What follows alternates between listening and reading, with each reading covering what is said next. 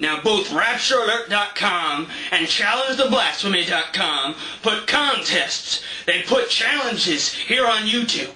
They put these challenges for people to praise the Lord, for people to challenge blasphemy against the Holy Spirit. And I posted the same video to both of them. Now, one of you, one of you, the RaptureAlert.com, you had a video uh, approval, and you didn't even approve my video. But you other, you other one, you ChallengeTheBlasphemy.com, you did allow it. They're automatic, and you deleted my video. Why? Huh? Who are you? Who are you to dictate who and how praises the Lord? You wanted people to praise the Lord, and I praise the Lord. You didn't like the way I did it? You didn't like how I praised the Lord? Well, who are you to decide? Who are you to decide?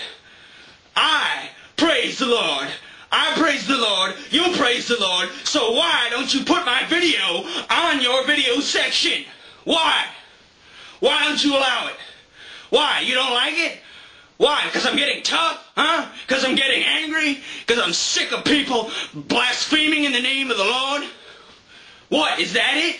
When, when someone comes along and gets tough, you don't like it? You just cower into the shadows like a spineless, limp-wristed coward? Is that it? Well, go back to the shadows, coward. If that's all you're going to do, if you're just going to sit there and say for people to praise the Lord, but only do it in a happy, nice, kind way, and when someone gets mad, you just don't allow their comments. Yeah, who, who's working for Satan, huh? You say I'm working for... Who's working for Satan, you coward?